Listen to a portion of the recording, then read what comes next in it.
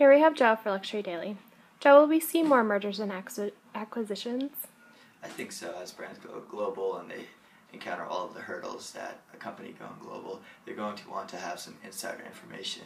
You're going to want to have some embedded expertise in these regions, and the best way to do that is to merge or acquire a company. Uh, we're seeing this especially in China, where it's basically mandated, where you have to merge with a company.